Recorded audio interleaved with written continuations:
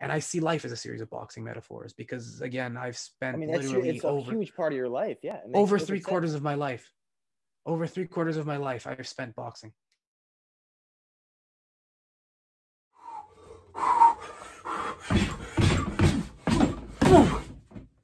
Woo! Whew. I love you, Bob.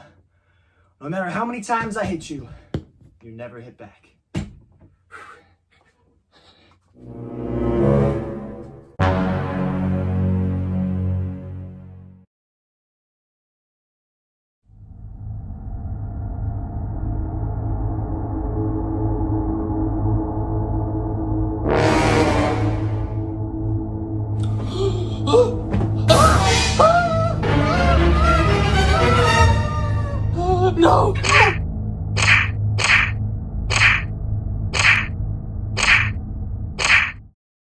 is subjective, meaning that interpretation is up to the individual experiencing that art. That being stated, the Rocky franchise is objectively the best and most inspirational sports film franchise ever conceived.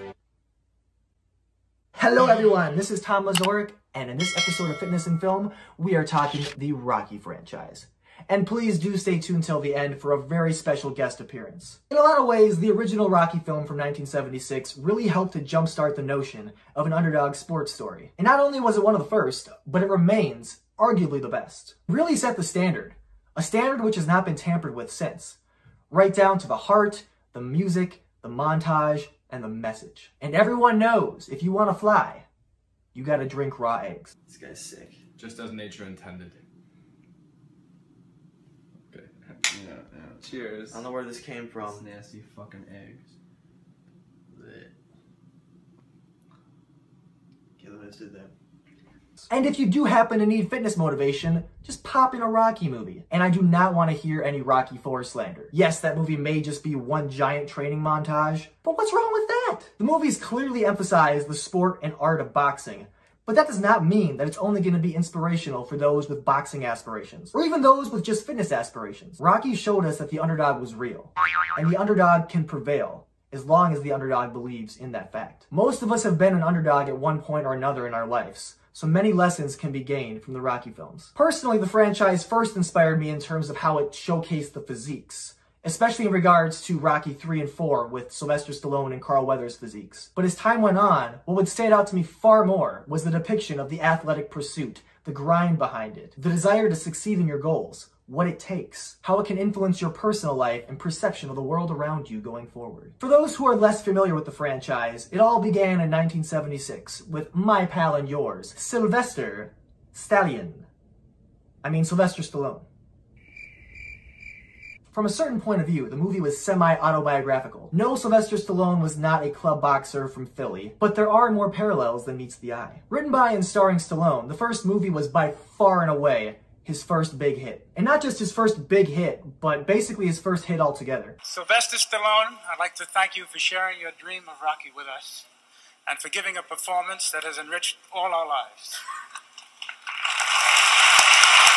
Prior to the film, Stallone was living a pretty poverty-stricken life. As a child, he was kicked out of various schools, and in high school, he was voted the most likely to end up in the electric chair. Yikes. Yeah, I don't think they have those categories in the yearbooks anymore. And when he entered the world of showbiz, he struggled quite a lot. But he did not give up on his dream. Even while living in ramshackle apartments with no clear sign of success in sight. Stallone drew real-life inspiration for the film after a 1975 championship fight between one of the most famous people in the world, Muhammad Ali, and an underdog club fighter named Chuck Wepner. So here we have art imitating life, imitating art, imitating life, or something like that. Stallone was inspired by a real-life underdog boxing story, which then inspired the rags to riches story, Rocky, which ended up taking Stallone from a rags to riches sort of situation himself. Obviously, the film would spawn a franchise. The first film detailed the initial struggle and rise to prominence.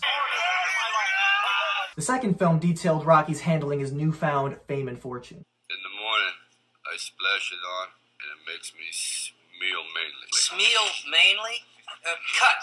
Does that smell manly? Can you read that right? The third film, and my personal favorite, focused on how star power can be detrimental to success, as well as how old enemies can become friends. The fourth film, again, is basically one giant training montage, but it also shows the friendship, loyalty, and determination built within athletic pursuits. The fifth film is my personal least favorite, and it more or less details Rocky's retirement as well as some of the darker aspects of the boxing scene. This is a dirty business. It's full of these, thieves and gangsters, you know, and, they, and they, they, they promise every good young fighter who comes along, they promise them the world, and they, they, they, they, and they, they suck them dry, and they leave them when they worth nothing, they leave them in the gutter broke, Tom. That's the way this business is run. That movie basically caused Rocky to go dormant from 1990 all the way up until 2006 when we got Rocky Balboa, which was a beautiful return to form. That film showcased Rocky's coming out of retirement and how he would deal with being an aged fighter. The franchise also spawned sort of an offshoot franchise, sort of a spin-off franchise in Creeds 1 and 2. Two films that I absolutely adore, but we're not going to focus on those films at all in this video. Those are movies for another day. For this video, we're going to be looking at the Rocky films exclusively. From movie to movie, the goals would evolve. The physique changed, the opponent changed, and the training changed. In the first couple of Rocky films, he appeared far stockier. He had a bit more body fat, and his physique reflected what you would expect from fighters at that time. And the physique also made a lot more sense given the fitness and nutrition information available in the late 70s. But then we entered a new age, a post-pumping iron age, the age of Schwarzenegger, the age of the 80s action hero. What would follow would be a new standard for what's considered to be an impressive physique. And nobody embodied that better outside of Schwarzenegger than Sylvester Stallone. The body transformation between Rocky 2 and 3 is very hard to deny, and the subsequent Rocky films would follow suit. To achieve this transformation and gain the resources he would need going forward, Sylvester Stallone trained with the late and great bodybuilding legend Franco Columbu, shown here lifting a small automobile with relative ease. For this new physique goal, Stallone was quoted as saying things such as, I wanted to get as lean as possible. I'd go for a long morning cardio, which usually consisted of jogging or swimming. Then I'd do about 18 rounds of sparring in the ring for Rocky. And then I'd hit the gym for about two more hours. With the help of Columbu, it was very clear that Stallone was going to succeed in his goals. But Stallone on his own is an animal. A caged beast just waiting to be set free and ready to show the world what he's made of. Which is likely a ton of raw eggs. In regards to training with Stallone, Columbu has stated things like, he's an achiever.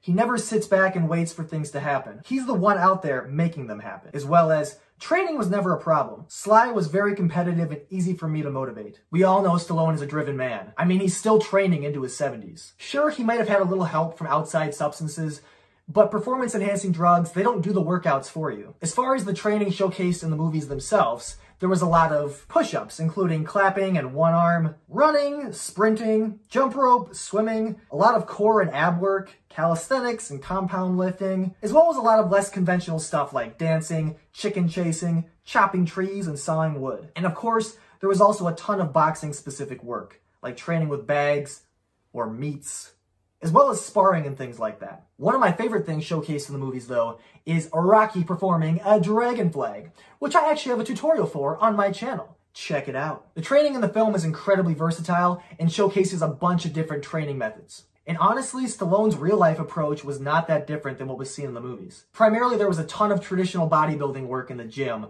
which involved a lot of high intensity resistance training and high intensity circuit training and things like that, as well as a ton of cardio and boxing. Stallone actually took things so far in Rocky 4 that he actually damaged his heart while performing a tricep extension with an absurdly heavy weight.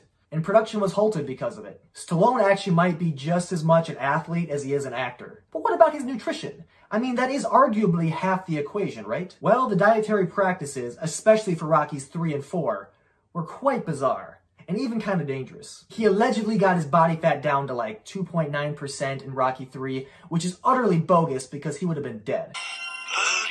But needless to say, he was exceptionally lean in that movie. For those who are unaware, body fat measurements are very hard to be accurate with. I don't know what his body fat actually was. Perhaps Coach Greg can lend us his laser eyes? Are not accurate. This is the holy grail of body fat testing. No, it's not. My freaking eyeballs are the holy grail of freaking body fat testing. But the bottom line is he was dangerously, unsustainably low in body fat. According to the Medium.com, Stallone has stated that I only ate very small portions of oatmeal cookies made with brown rice, a couple of scoops of tuna fish, and about 25 cups of coffee per day. This drink, I like it. I know, it's great, right? Another. I may have looked pretty good on the outside, but inside, It was a very dangerous thing to do. But I wanted that movie to be about change, how people have to adapt to different challenges, because if they don't, they will be conquered. Similarly, the dieting for Rocky 4 was utterly absurd and very unnecessary by today's standards. I was so unhealthy I even went through a period where all I ate was burnt toast, said Stallone. I looked great for a little while, and it's probably my best physique in Rocky 4, but what you didn't see on camera is that I was quite literally running my body into the ground, and you can't live like that. Perhaps if Coach Greg's cookbooks were around in the 80s, he wouldn't have had all these issues. Buy my freaking cookbook! And I'm out. But thankfully, the Sylvester Stallone of modern times is a bit more reasonable. These days, I've learned how to look after myself and keep on top of my nutrition without all the crazy stuff I used to do. And that's definitely the approach I'd advise other people to take. Above all else, be healthy. By the 1990s, when Rocky 5 came out, Stallone was training and dieting smarter, not harder. This is likely due in part to the furthering education on exercise science and nutrition. Back in the 1990s, I began to train what I consider to be more effectively. I really got my science and nutrition nailed down. I was in the gym less, but growing more. Stallone did a lot of amazing things with his body prior to figuring out what really works best. Fitness does not have to result in legitimate suffering. Training should be challenging, but fun. And your diet should be effortless, but healthy. Going forward, this approach likely shaped his performance and training for movies to come, all the way up from Rocky Balboa and beyond. I myself have experienced training various martial arts and other combat sports, but I'm in no way an expert, and I'm certainly not an expert on boxing. So, I have a very special guest, as I mentioned earlier in the video. He is a fellow YouTuber known as Not Dead Yet.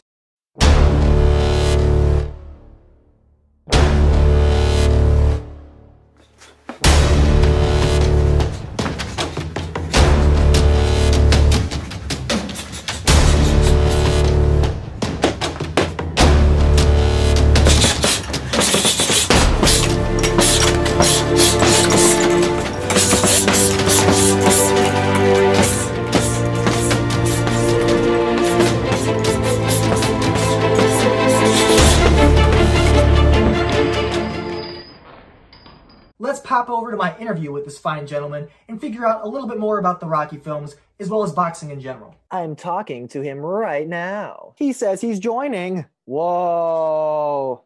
Hello. Whoa. Can you hear me? How's everything? yeah, I can hear you.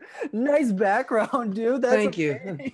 Thank you. Thank you. I Oh my thank goodness. You, thank you. This, this is so exciting. I am this is amazing. Yeah, no, it's really, really interesting. I'm, I like again, this is the first time I've ever collaborated with someone like this, so this will be a lot of fun. So question number one is tell me a Mm. little bit about yourself and like include, you know, both your experience with boxing as well as just like more about you as a person in general, kind of what you're about, you know. Okay, yeah, my well, my experience in boxing, I have it. I've been doing it since I was five. Uh, I got into it uh, as a kid. I got into karate as a kid because I was picked on and I wanted to kind of be a little bit tougher. Uh, what got me into boxing specifically is that I actually have a long line of boxers in my family. My father did boxing. He wasn't a professional or anything, but he did it. And then I have uh, professional boxers uh, down my lineage. I have a, you know, there was a uh, army trophy, military trophy, and I think it's both my uncle and my great uncle's names are engraved on it. I've seen that, and then I've got I have a poster of of uh, my great uncle, I believe, uh, who was a boxer, and he's kind of big on the uh, the kind of plastered on the main event of the poster. So it, boxing specifically is something that kind of runs in my family, and uh, so yeah, I've been doing that since I was five. Uh, I got into it. I got really into it and I got into. I eventually transitioned from karate because karate was a little too easy for me. Uh, oh, I don't like the point. interesting. Interesting. No, I don't. I'm, I'm not a big fan of um, typical karate, especially with point fighting. The way they the way they point fight. Where um, uh, do you know much about karate? Yeah, I know yeah, I know a know. decent amount, but Okay, it sounds like so you do you know, know? Do you so you know non do you know non-contact karate? Do you know how that works? Yeah, yeah, yeah. Yes, I do not like that. I think the, that is best used as a training exercise and nothing else. So from there, I transitioned on to uh, Muay Thai, actually, which is an, uh, another Uh, Thai martial- boxing, right? Yeah. yeah yeah another martial art that really is close to my heart and um that was brutal. But around the age of 10 i uh wanted to compete. And there's no such thing as amateur muay thai.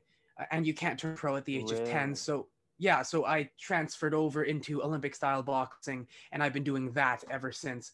Uh in terms of accolades i have in terms of pure Olympic boxing accolades. I am a level three certified boxing coach, which means I can coach at a national level. I do Oh plan to get my level four, but you need to have a university degree for that, which I do. So I plan to eventually, when they plan to offer, and I don't know when they ever will, because uh, the organi- boxing organizations are corrupt as all hell. I have stories of how difficult it was for me to get my level three.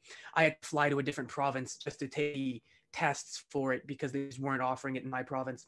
Uh, but yeah, so uh, level so my level four would allow me to coach at a Olympic level. Currently, I can coach at a national level. I am a certified boxing official, meaning I can officiate matches, which means I can judge matches. I can be one of those guys sitting on the uh, side of the ring, kind of going, Who, "Who's going to win the fight?" I have so cool, dude. That is Yeah, so I've- cool. Been i've trained martial arts in china i have trained muay thai and boxing in thailand i have been all over the united states i've been main event in hawaii multiple times one of which was where i fought uh hawaii state champion. I sparred i went to puerto vallarta in mexico and i don't know the state but i sparred the state champion there I've been to ringside multiple times. That's actually what this shirt is. I put it on because it's the closest thing to like old timey boxing in terms of a shirt that I have. So I'll give I you was a- gonna say I of wish I had some apparel as well, but I have nothing Yeah. boxing. So I was like, so that this is like a brief kind this is like an old timey boxing shirt because it, it's meant to kind of symbolize that like old you know style of boxing so then outside of the the boxing experience, so then just also just you generally as a person, like who Mhm. who really are you? And like what, especially with your channel too, like what do you set out to do and be, and like who do you want to project yourself as to the world? um i don't know. I don't like boxing's a big part of who i am obviously. Oh, like sure, it again I've, I've spent most of my life in the gym. Like I, I and that's what that's something that i'd like to talk about at some point is the is the sheer amount of sacrifice that it takes to do what i do and the sheer amount of sacrifice in terms of everything. Like i've sacrificed literally to get to the top and i mean everything. Everything was second to boxing. School relationships both uh, platonic and romantic. Mental physical and emotional health. Every i sacrificed everything to get to the top and people don't truly understand what that means. I tr- i. no, and, and I, I currently train six days a week, and even on my rest days, I try to at least go for a walk or go for a light jog. Back when I was still competing, because again, we can't compete now, which really sucks. I miss sparring Oh, so dude, I can't much. imagine what that's like for you. Yeah, I miss That's like- sparring so much. It's because but when I spar, when I box, that's when I feel alive. Like it's this, it's this amazing feeling of like it, you come alive. There's a sensation that washes over you, and it's just like this is what I love. But um, when I was uh, competing, uh, especially when I was in school, I was training three hours a day, right? Three to six, actually, depending on Oh whether or not it was a weekend or not. And I would get home at five o'clock, and I would be in bed by nine. So do the math. I would get home, I would train, and that would leave me with one hour to shower, eat, homework, and time for myself. Oh, and like my. people do not understand the sheer amount of sacrifice it takes to do what I do. how do you feel about just Rocky and the Rocky franchise as a whole? And like, I'm assuming you've drawn some inspiration, but Of course. if you, yeah, course, and then just, just how do you, just how do you feel about it overall? What is your general relationship to the Um, franchise? and I love the franchise, honestly. Um, uh, I think it gets a lot right. Obviously, the boxing's theatrical. Uh, you know, Rocky Oh, yeah. blocks ninety percent of the punches with his head, and uh, you know he he, you know they're they're swinging like this. But actually, from a movie perspective, there's a reason for that. Um, and I actually watched a video about it. It's because boxing on a technical level isn't interesting to watch, um, especially for like, and, and on, well, not on a technical level. Boxing on a theatrical level isn't interesting to watch because when you watch uh, um, a uh, practical martial art compared to a more theatrical martial art, it's very quick. They're, all your movements are um, efficient because, and, I, and I've said this a ton, in the ring, energy is a very limited resource. You will run out of it. So one of the best pieces of advice I was ever given from any boxer ever was move with purpose. If you are doing something, you need to have a reason for it because otherwise you are wasting energy, right? So everything makes is quick and fast, and you need and everything you do is efficient. But if you're watching two boxers, obviously it's a lot more interesting because there's a technical aspect of it. yeah, But uh, from a theatrical aspect, there's there's no flair. It's because it's it's it's not meant to be flashy, right? So the reason why the Rocky franchise does this and this is because it's a lot flashier. as opposed to something like well i mean because what looks cooler when you when you have the guy and you he pushes him back does this and this and this right what looks cooler for the camera that or this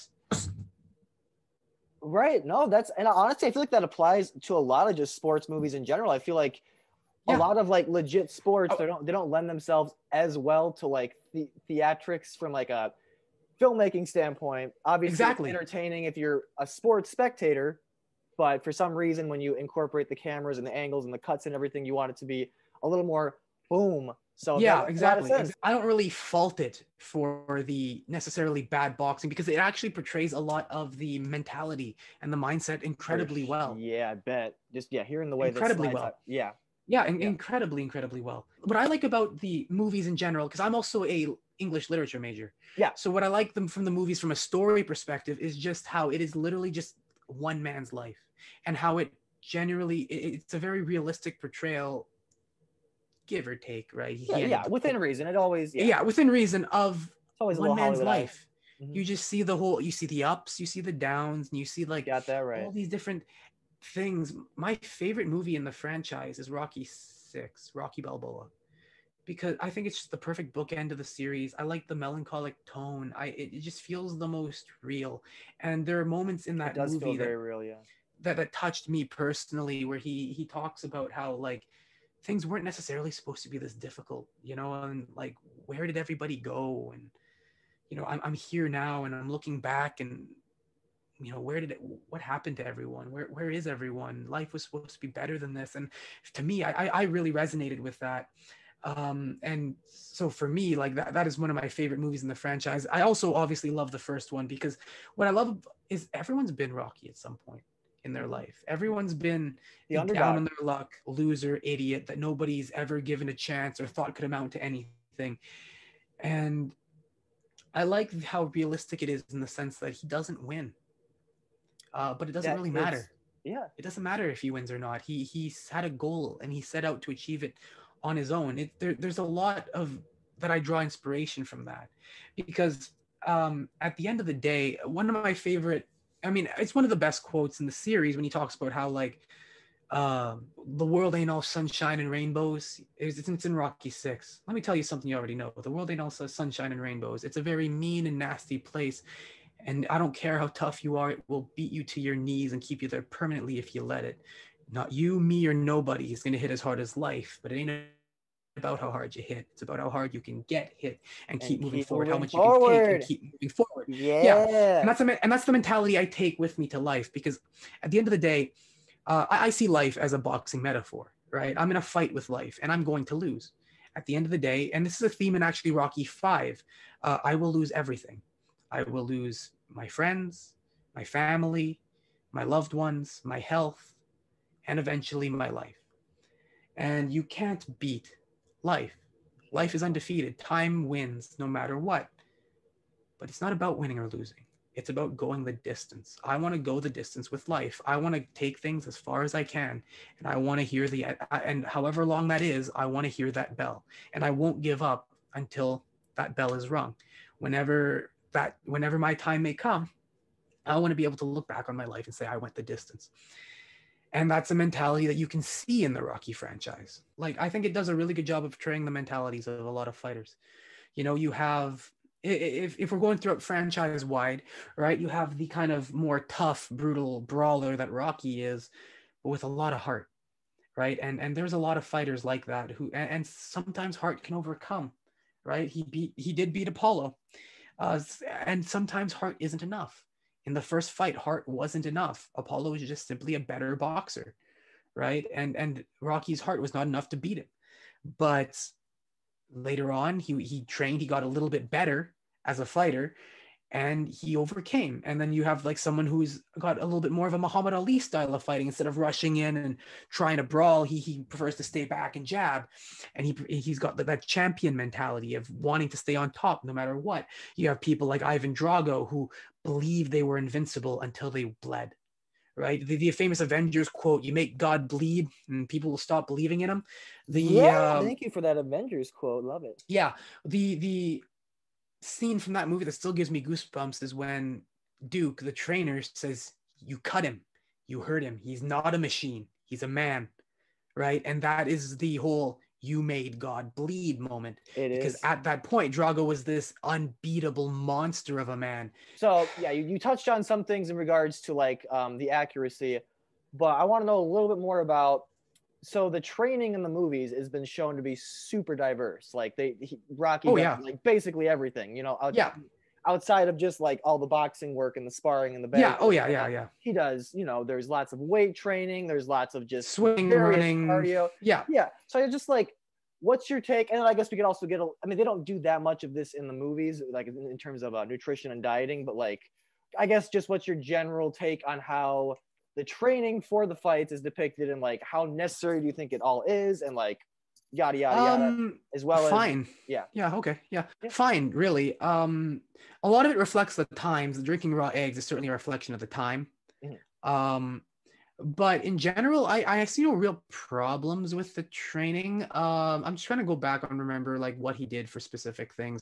Like again, chasing a chicken is something that I don't really Yeah. have ever seen everyone do. But no, I, I understand the point of it. And yes, like really, when it comes to training, it's really mainly what the boxers want to do.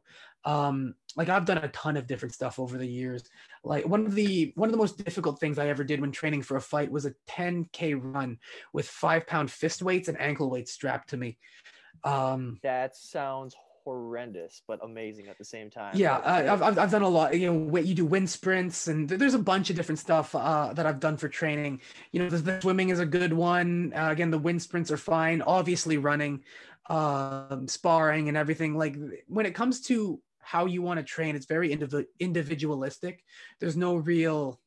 Um, golden rule kind of thing yeah, exactly. Even especially like chopping down the tree in Rocky Four. I'm pretty sure Yeah, is a reference yeah. to Ali himself, who used to do that, right? yeah just for you know the core gener- like generating power through your punches i'm sure Yeah, well, especially for the hook, yeah for the hook for sure yeah right? So yeah, like I'm like in reference to Ali. I'm, I'm trying to think of like and and again like there, there's all and I, I can't really say a bunch because a lot of them are very generic stuff. Like if you go later on, you have like tire swings and like he he's got the sledgehammer doing like yep hitting the tire with the sledgehammer to build up the shoulders and bag work and like yeah so punching the meat is a funny one um i i can't really speak too much on that i have never done it but um I, i'd love to at some point if Yeah, I was gonna say, yeah, whatever, like it could happen. like if I if I could if I ever got the opportunity, I would definitely take it just to say that I did it. Um, but really, even punching the meat, like just bag work. It, it's just heavy bag work in terms of you know you're you're punching something else. I mean, I guess I think the theory back in the movie is that he's getting used to like hitting a body that's like Yeah, way more strong than a human. yeah, more like tissue and stuff instead of Yeah, and and it's, and the more muscle than a human, because you know obviously a cow is built differently than a human. So you know if he, you know if he, he can hurt the cow, then he can hurt Apollo, which actually I find interesting. I, I just noticed this because I remember when he first starts punching the carcass, Paulie notes that you're gonna break the ribs, Yep. and he yep. actually does. He actually does do that to Apollo. He breaks Apollo's ribs. So there's there's another bit of foreshadow. I just realized that. Oh yeah, dude. So the training pays off. Oh my god, I didn't even make that connection. Yeah. That's amazing. one of my favorite uh depictions of the rocky movies in and it was actually an impromptu scene he goes into this into the ring and he's just kind of looking around and he sees his poster and he's like my shorts are wrong uh, that wasn't actually planned the uh the uh props department screwed up and they didn't have the budget to fix it so stallone on the fly wrote that scene in and it's perfect for the theme of the movie because that's when he realizes that he can't win he because he talks to the promoter and he goes, "Hey, my shorts are wrong," and the promoter looks at him and goes, "Ah, it doesn't matter, does it, Rocky? I'm sure you'll give us a great show." And that's when he realizes, like, it, it doesn't matter. I, I can't win. This guy's not. I, I I'm going up against the heavyweight champ of the world. No one thinks I can win this.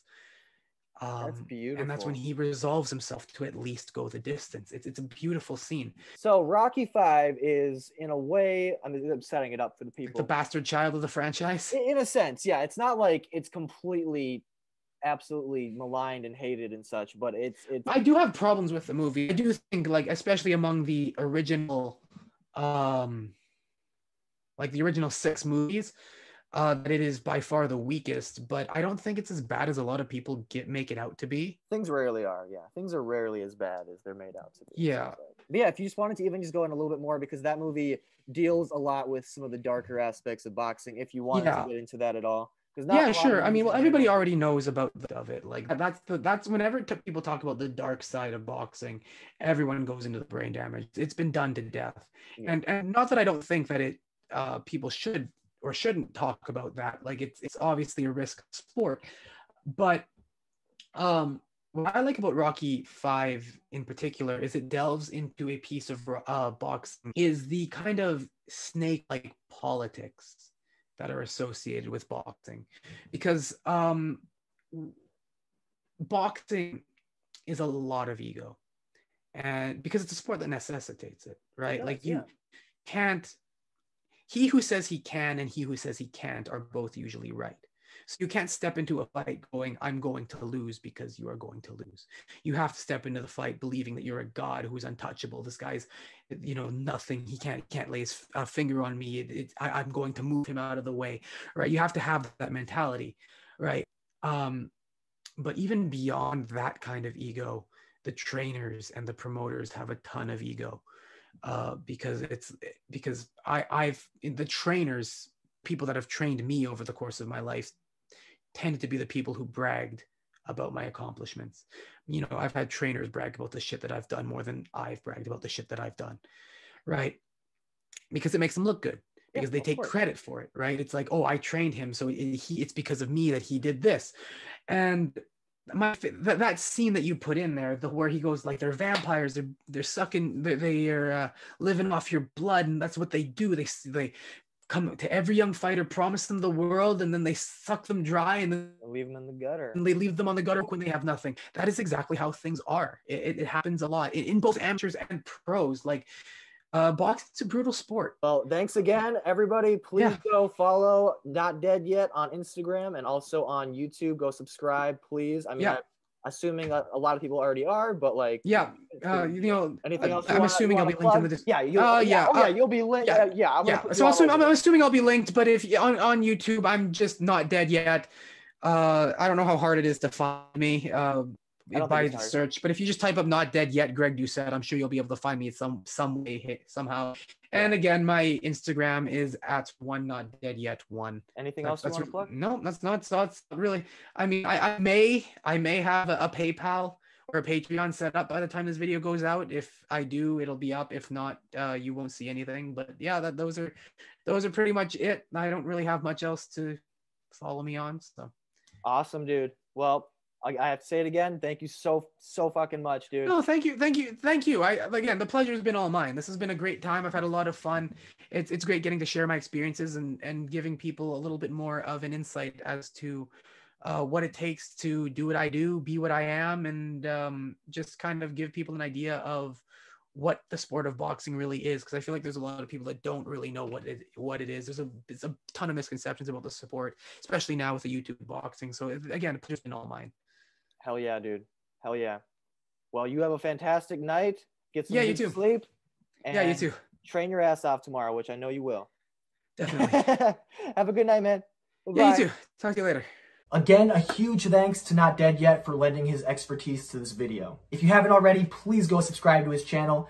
This dude is a very level-headed person with a lot of great things to say. Fitness is for everyone, whether boxer, bodybuilder, or avid walker. Working out is something we should all strive to accomplish every single day. We have arms, legs, and many other articulating components to our bodies. So let's use them. We should all want to move as well as fuel that movement with the correct diet. Stallone may have had some rather unorthodox methods in his earlier days, but we can still draw a ton of inspiration from this man, as well as the movies that he brought us. Because in spite of the brutal training and dieting ideologies that he subscribed to, he never gave up. Kinda like how Rocky never gave up. If you enjoyed the video, please do consider liking and subscribing so I can make more videos like this as my channel grows, assuming it does in fact grow. Also, maybe follow me on Instagram at tom.lazorik. Let's be friends. Hopefully I'll see ya real soon. Bye bye